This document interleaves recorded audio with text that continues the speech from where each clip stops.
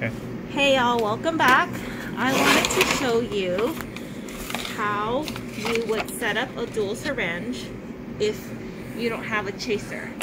If there's no more saline and there's nothing to hook on onto this, you can only use the contrast. The dual syringe has a second piece to it and if there's a second piece it won't go on correctly. So this one's going to be discarded because there's no saline. And on this specific one for MedRad, this is the Stellant Flex. There's two spikes. There's a big one that's normally connected to the um, saline pads. And then the smaller one is for the contrast.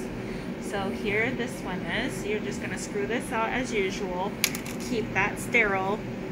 Undo this one. Keep this sterile. And then twist it on. And this remains sterile here. Pull this out.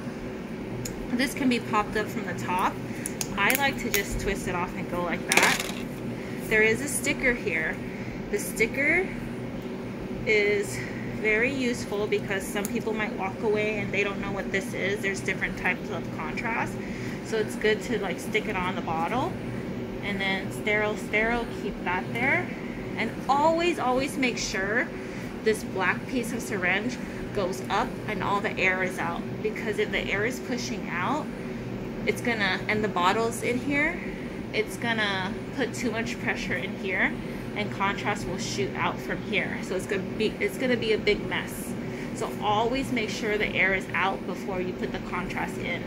I've done it and it's messy.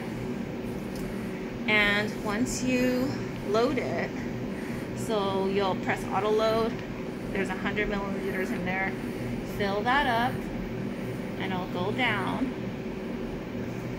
And with this one, it's very cool because the orange comes down and when you know there's no air in there there's going to be an orange halo. So if you come closer there's going to be this circle colored thing. It's a halo and you know that there's no air on top. So that's how they made this one. It's very cool. So once that loads up you should prepare this one. So remember color goes to contrast color goes to contrast. The clear one you undo that. Be positive too. oh no, I was just focusing it. And then um, you hook this onto here because it's going to give it a little air so the contrast could come out. So the whole point of this video is when we're not using the dual syringe, we only need one side. We don't need this side.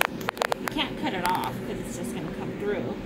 What you can do is use a clamp and clamp this after you put it on. You'll clamp it like that and it'll not let contrast come through so you'll clamp it here.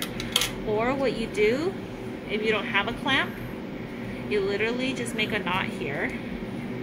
Try to get it to the closest to this part and pull it through.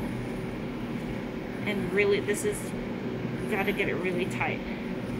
So now that you have this ready, can take this off. And then this one, it doesn't matter anymore. It's this one that you screw off. And then keep both that side sterile. Come through. And then all you have to do is prime it. And it'll just come through here. And then wait for it to come